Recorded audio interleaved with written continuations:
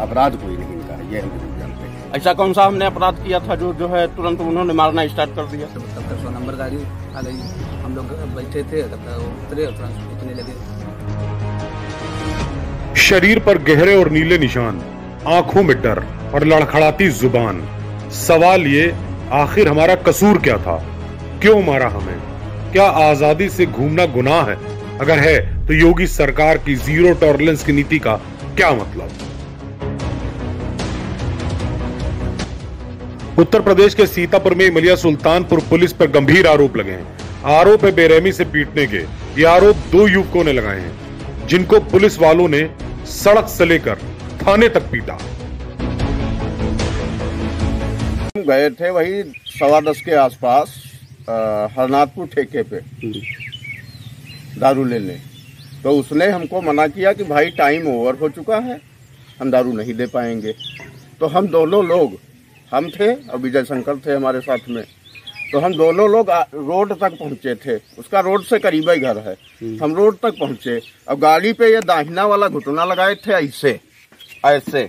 गाड़ी पे लगाया था पीछे पीछे हमारा वो जो ठेके पे दारू बेचता है वो था पीछे पीछे अब वो गाड़ी दो मिनट भी नहीं लगे गाड़ी आई अब वो उतर के अब यहाँ देखिए। ये देखिए जो है पीटना स्टार्ट कर दिया डायरेक्ट। ना कोई बात ना कोई चीज़। ऐसा कौन सा हमने अपराध किया था जो जो है तुरंत उन्होंने मारना स्टार्ट कर दिया? आरोप है कि रात भर थाने में बंद रखा पानी तक नहीं दिया सिर्फ़ लाठी से पीटते ही रहे। इलाके के प्रधान का कहना है कि सूचना मिली थाने गए वहाँ से इन दोनों को साथ लेकर आए। प्रधान का भी कहना है शरीर पर निशान इस बात के गवाह हैं कि इनको पीटा गया है। विजय शंकर मामला क्या इनको रात में ले गए थे पुलिस वाले सौ नंबर वाले। लमसम वही दस साढ़े दस बजे हमने फ़ोन किया तो बोले कि सुबह ले जाना इनको रात में हम नहीं छोड़ेंगे। नहीं ये लोग कह रहे हैं कि हमें मारा पीटा गया है हमारा पीटा तो गया है तो सामने सबूत है। किस अपराध के लिए इन्हें मारा अपराध इनका कोई नहीं है ये हम ज़रूर कहेंगे। फ़िलहाल पुलिस अधिकारी इस मामले की जाँच कर रहे हैं। पीड़ित दोनों युवकों से पूछताछ की जा रही है। उनके बयान नोट किए जाएँगे। उन पुलिस वालों से भी पूछताछ होगी, जिन पर पिटाई के आरोप। गेंद पुलिस अधिकारियों के पाले में है। अब देखना होगा कि वो इसको खेलते कैसे हैं। इमरिया सुल्तानपुर से श्याम शुक्ला के साथ ब्यूरो रिपोर्ट, स्टार न्यूज़।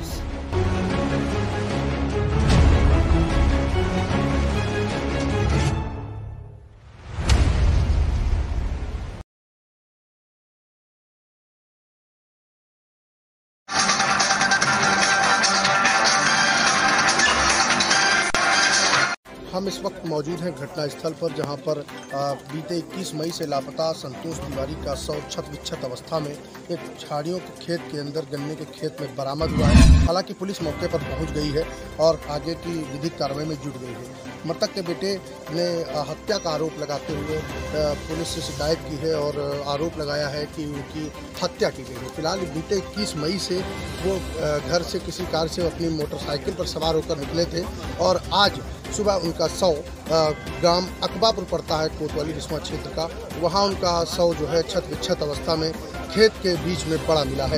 ढूंढा गया सब कहीं मिला रात में भी पर ढूंढा गया सुबह भी ढूंढा गया ठीक है? अब दोपहर तक ढूंढा गया जब कहीं नहीं मिला तो होता नहीं कि घर पे जब तक ढूंढ नहीं लेंगे तब तक के कहीं नहीं पुलिस वाला कंप्लेंट करते हैं। तो फिर दोपहर के बाद पुलिस को कंप्लेंट किया गया ठीक है?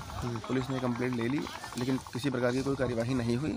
जब तक कि लाश नहीं मिले तब तक की कोई कार्यवाही नहीं हुई। लाश मिलने पर जो कार्यवाही होती पुलिस के द्वारा सिर्फ़ वही कार्यवाही फ़िलहाल मौके पर पुलिस और फॉरेंसिक टीम आ गई है और आगे की विधिक कार्रवाई में जुट गई है। फ़िलहाल आप देख सकते हैं मेरे पीछे किस तरीके से भीड़ लगी है। यहाँ पर बिस्मा कोतवाली पुलिस भी मौजूद है और यहाँ पर जो शव है उसको पीएम के लिए भेजने की तैयारी भी शुरू कर दी गई है। ये वो गाड़ी वाहन है जिसमें वो शव रखकर ले जाया जा रहा है। फ़िलहाल आपको बता दें कि ये पूरी घटना कोतवाली बिस्मा इलाके के ग्राम अकबापुर की है और अकबापुर में जो ये शव छत अवस्था में बरामद हुआ है, ये कोतवाली बिस्मा इलाके के मोहल्ला जज्झर निवासी संतोष तिवारी सना विनोद कुमार का शव है ब- और ये छत विच्छत अवस्था में यहाँ पड़ा मिला है। फ़िलहाल पुलिस आगे की विधिक कार्रवाई पुलिस ने शुरू कर दी है। मौके पर तमाम परिजन यहाँ पर मौजूद हैं और छत विच्छत अवस्था में शव मिलने से परिजनों का रो रो कर बुरा हाल है। फ़िलहाल बिस्मा से स्टार न्यूज़ पर आशुतोष।